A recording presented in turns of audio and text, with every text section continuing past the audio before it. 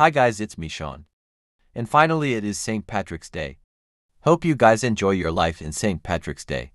And later I will make a Sean speaking about month but with comparisons. That's all for today bye guys.